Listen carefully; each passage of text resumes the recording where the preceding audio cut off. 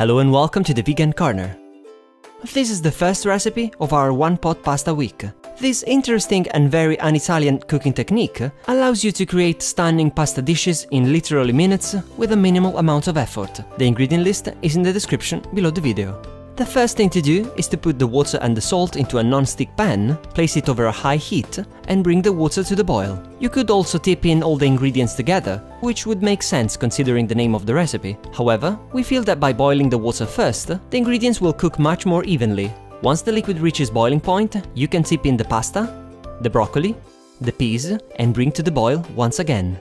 As soon as the liquid is back to boiling point, turn the heat down to medium and start counting the cooking time, which really depends upon the pasta you are using. The liquid should simmer for the duration of the cooking time. We are using a pasta that should cook for 9 minutes to get it al dente, but we are actually going to cook it for 11 minutes.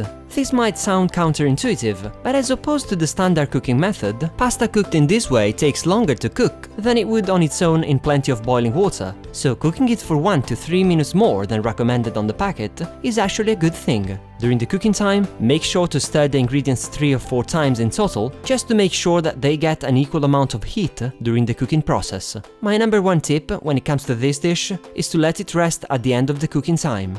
That's right, stir the ingredients, turn off the heat, cover the pan with the lid, and let the pasta rest for 3 to 4 minutes before serving it. You might be wondering, won't this overcook the pasta? The answer is no.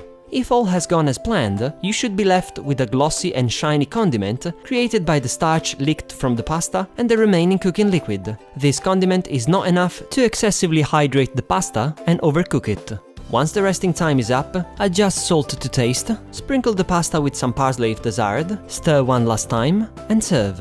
I know what you're thinking. Another green ingredient? What can I say? I like this pasta dish the way it is, so don't complain, okay? There, I added some red chili flakes. Are you happier now? At this point you should have in front of you a beautifully cooked and healthy dish that we are sure will impress even the fussiest Italian guest. If you enjoyed today's video please don't forget to give it a thumbs up before moving on and subscribe if you haven't already. Many thanks for watching.